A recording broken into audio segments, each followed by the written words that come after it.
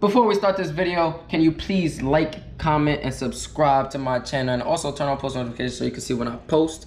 Thank you very much. What's going on YouTube? I'm back with another video. Today, this isn't your ordinary video. This is a video for all my PlayStation users out there. It's not really anything that has to do with my channel or anything that has to do with what I post. It's just I'm I'm helping people out because I know I went through this problem and it was mad annoying to me and I do not want this problem to happen to you guys. So I'm gonna tell you guys about the PlayStation Network error code fix when you try to log into your PlayStation account and for some reason it just won't let you log in. It does have something to do with the new update that came out for the system software. So that's why it's happening to everyone. But I'm gonna tell you guys how to fix this right now. Alright guys, so one way I learned how to fix this is what you have to do is you have to log in to your PlayStation account on your phone because obviously you can't log in on your PlayStation because it won't let you. Then you got to go to PlayStation Network privacy settings. Then it should say gaming media, friends, connections, personal info.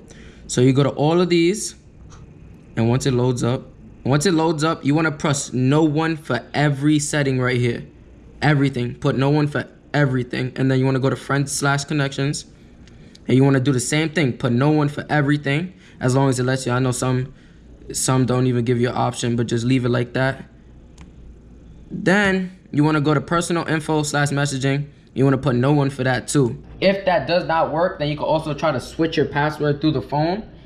Or you could try to switch your DNS setting. It took me like five minutes. That's what you have to do. Go on your phone and just switch all the settings to no one. You'll be alright, guys. I'll catch you on the next video. And once again, make sure you subscribe for other content, yeah, there's not gonna be no content ever again related to PlayStation, but I know there's no videos up right now to help anyone, so I wanted to help out. But make sure you subscribe, turn on post notifications, like and comment, and I'll catch you guys in the next video, which will be nothing related to this.